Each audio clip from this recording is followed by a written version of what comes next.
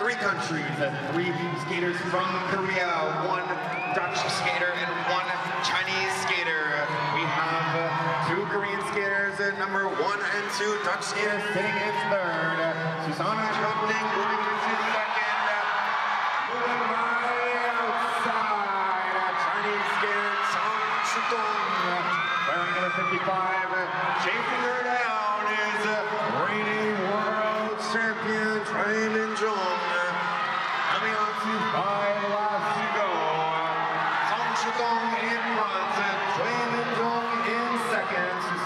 Schulting in third, Kim Iri in fourth. Sitting in fifth is Kim Kun-hee from Korea. Big Korean third. 4 et 5. Walk la barre, c'est toujours la chinoise qui mène.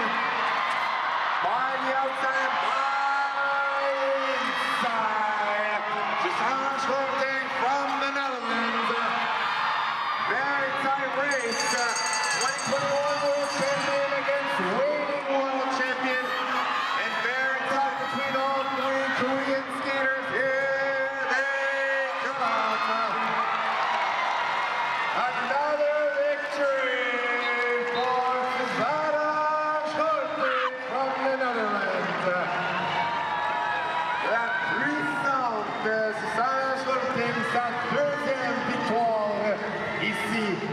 De l'Arena Richard.